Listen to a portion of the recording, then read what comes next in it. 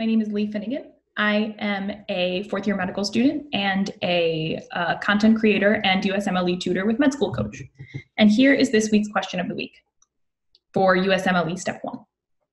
A 67 year old man with a history of hypertension, type 2 diabetes, hyperlipidemia, and a myocardial infarction treated with coronary artery stenting presents to the emergency department with worsening dyspnea and orthopnea. On exam, his heart rate is 125 beats per minute, his respiratory rate is 31 beats per minute, is 31 breaths per minute, and his blood pressure is 106 over 65. On echocardiogram, his left ventricle is dilated and has an ejection fraction of 35%. As a result of the increased volume of fluid in the left ventricle, his heart releases a substance that promotes natriuresis, diuresis, and vasodilation and counteracts myocardial fibrosis. Which of the following enzymes is responsible for degrading this substance? A. Bradykinin, B. Angiotensin converting enzyme, C. CYP19, or D. neprilysin. So this is a pretty classic step one question in that it gives you a whole bunch of clinical information that you don't actually need to answer the question at all. Um, you know, we're told that as a, you know, this man, we as we go through his history, uh, we find that he has a lot of risk factors for heart failure, and we do find that he is indeed in heart failure. Um, but we need to know is uh, so we know that his left ventricle is dilated and that it's therefore releasing a substance. And we're told what that substance does, but not what that substance is. And then we need to know which enzyme degrades that substance. So all we need to know is which enzyme is secreted by the heart in response to, um, we need to know which enzyme is secreted by the response by the heart in response to increased fluid in the ventricle or increased volume in the ventricle.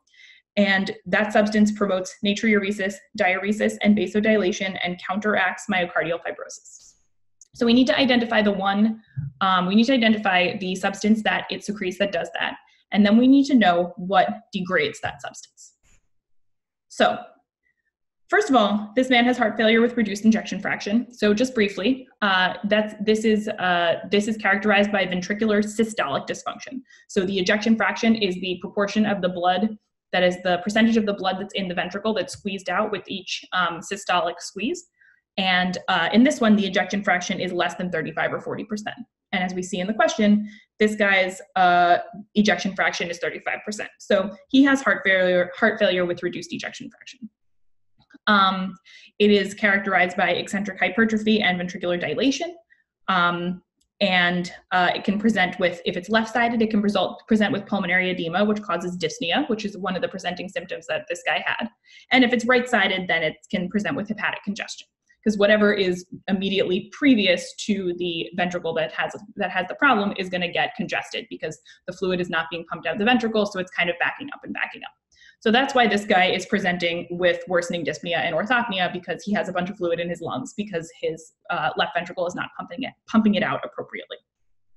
But none of that is really necessary for answering this question. Really, the only important thing is that we know that his left ventricle is dilated, which we're told. We don't even need to figure that out based on his symptoms.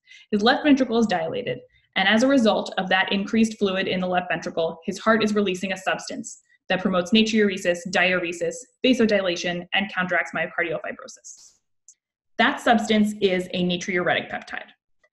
So, in response to um, myocardial stretch, increased angiotensin 2, or vasoconstriction, the heart releases pro ANP and pro BNP. These are atrial natriuretic peptide and brain natriuretic peptide, um, or atrial natriuretic peptide and B type natriuretic peptide. Um, they've changed the name from brain to B type because brain makes no sense. It's not secreted by the brain, it's secreted by the heart. Um, so that is, uh, those substances are then activated into ANP and BNP. Um, and ANP and BNP then have all these actions. It is also important to note that um, ANP is secreted by the atria and BNP is secreted by the, by the ventricles. So, um, so these natriuretic peptides bind their receptors and they have a variety of, of effects. On the kidney, they promote natriuresis and diuresis.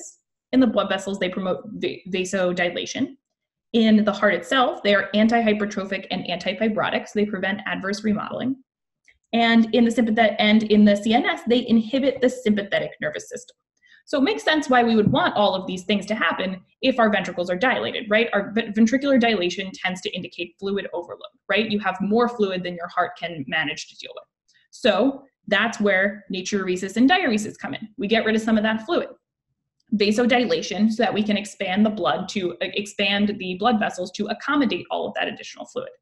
Anti-hypertrophy and anti-fibrosis, because the heart can adversely remodel if you have, you know, ventricular dilation leads to, like we said, eccentric hypertrophy, which is how you get heart failure with reduced ejection fraction. So you have that eccentric hypertrophy, which makes room for more of those, um, which makes room for all of that extra fluid to sit in the heart, which is not what you want. Antifibrosis as well.